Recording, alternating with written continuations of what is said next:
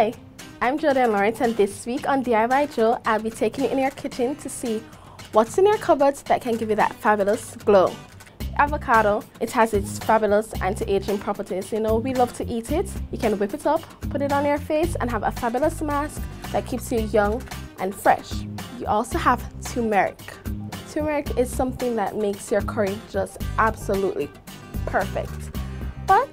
In a mask, well, this one isn't made by me, but in a mask, it has its own anti-aging properties. One thing I have to recommend though, you might need a rag for turmeric. It does have a tendency to stain. So another thing that has a superpower is salt. You know, we don't like our foods bland and fresh and all of that. But salt has another magic trick. It can get rid of warts. Warts kind of run in my family and I had one and two popping up. My grandaunt passed on a little trick to my mom who passed it down to me. Get a pinch of salt. All you need is a pinch. You find the wart on your face. You rub it on, rub it on, rub it on. You don't need any water or anything like that. You just rub it. Use the grains. Make sure you rub it on the wart for 20 seconds every night until it falls off. It's a testimony. It does work. Lastly, what I have for you today is aloe vera.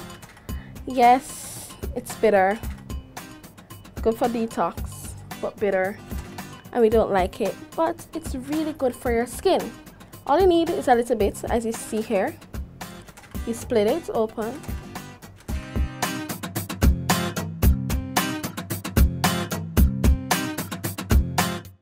Voila.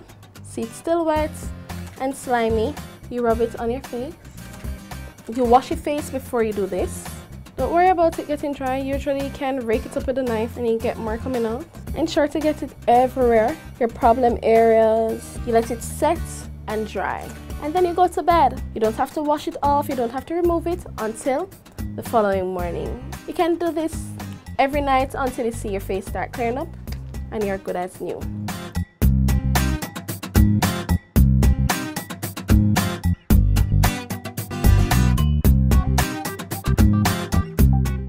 I've washed my face and as usual, pat dry, do not rub. So you wake up in the morning fresh, continue with your same morning routine, wash with your normal cleanser, dry, pat dry, and then you're good to go. That's the DIY JO for this week. Bye-bye.